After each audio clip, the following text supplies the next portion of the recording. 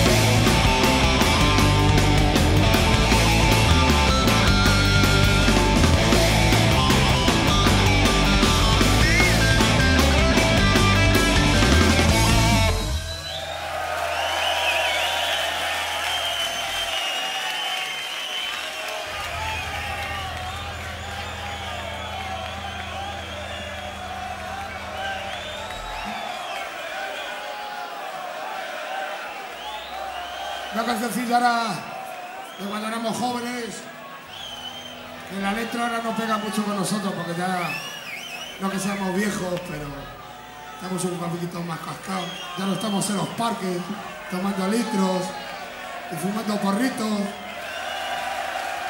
Ahora lo hacemos en los bares.